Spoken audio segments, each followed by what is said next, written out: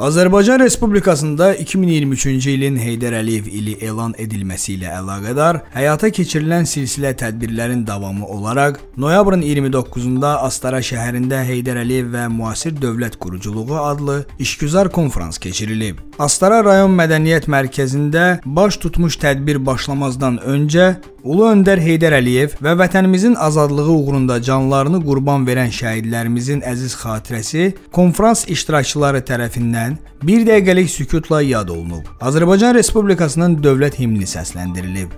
Tədbirdə çıxış edən Baş prokurorluğun idarə rəisi Murad Dadaşov, Astara rayon icra hakimiyyətinin başçısı Qəzənfər Ağayev, Astara rayon prokuroru Əli Əliyev, Milli Məclisin deputatları Rəşad Mahmudov və Ziyafət Əskərov, Müdafiə Nazirliyinin mətbuat xidmətinin rəisi Anar Eyvazov, Heydər Əliyevin gənclər siyasəti, ordu quruculuğu və insan hüquqlarına verilən dəyər, ulu öndərin xilaskarlıq missiyası və zəngin dövlətçilik irsi mövzularında çıxış ediblər.